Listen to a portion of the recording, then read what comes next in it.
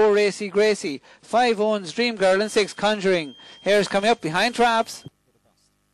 And they're off and running, and it's traps one and three or first to show and lead up. Six, the favourite is Mr. Break and has a lot of work to do, but it's trap two now, takes it up at the bend.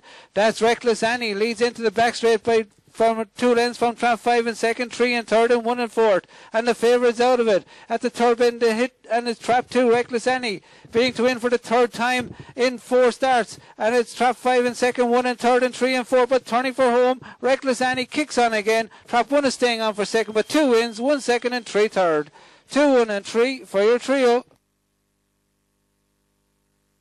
Winning time 29.56.